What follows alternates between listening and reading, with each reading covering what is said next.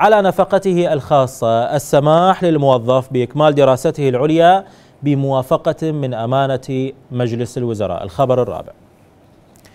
حيث أبلغت الدائرة القانونية في أمانة مجلس الوزراء وزارة التخطيط بحق الموظف أنه إكمال دراسة دراسته العليا إذا كان يدرس على نفقته الخاصة ولا يكلف الدولة أعباء مالية كما هو موضح في الكتاب الرسمي الصادر من الأمانة العامة لمجلس الوزراء.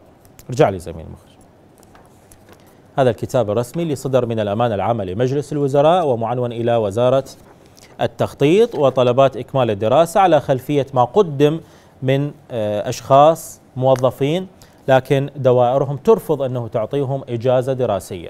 فاليوم من الأمانة العامة لمجلس الوزراء قررت أنه السماح لهذه الشريحة بإكمال الدراسات العليا.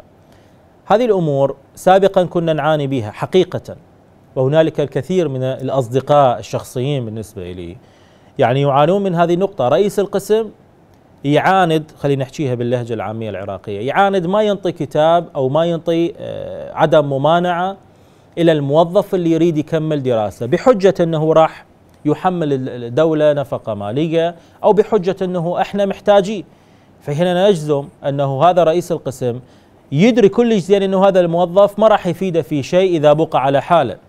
لكن حتما راح يبدع إذا كمل دراسته العليا. لكن بصريح العبارة ليش ما ينطي عدم ممانعة؟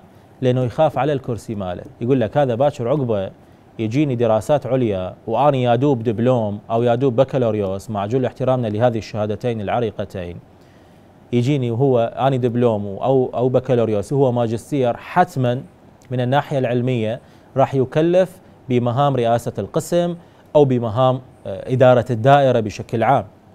فهذا هو السبب الرئيسي اللي يعني يكون سبب يقف وراء عدم إعطاء رئيس القسم إلى الموظف اللي موجود عنده عدم ممانعة.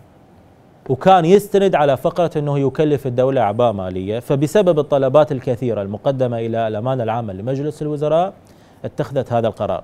في حين هذا القرار كان من المفترض إنه يتم إصداره قبل سنوات لأنه كثير من الموظفين يعانون من هذه النقطة.